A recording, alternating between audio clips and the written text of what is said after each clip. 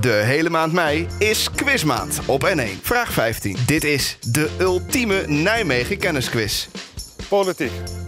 Sinds 2012 is Hubert Bruls onze burgemeester. Sinds 1998 is hij al actief in de politiek.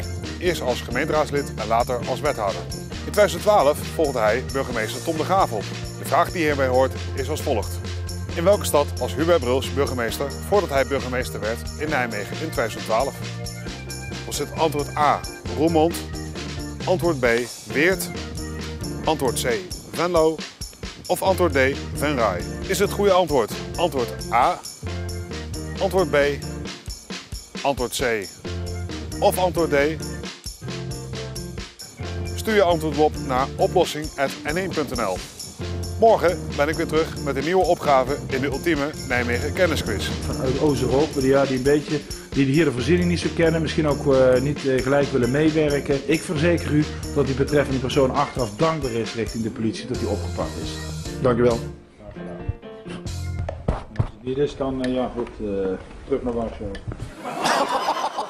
Mei maand quizmaand werd je aangeboden door Up Beatles en Tonen Reizen. Thank you.